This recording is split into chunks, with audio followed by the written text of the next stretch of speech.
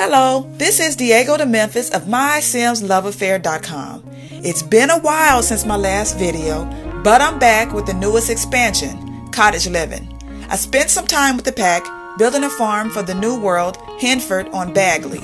And in the process, I discovered some items that I can see myself using for multiple builds. Not only farms, but any cozy laid back style home. Here are my top 10 picks. Enjoy.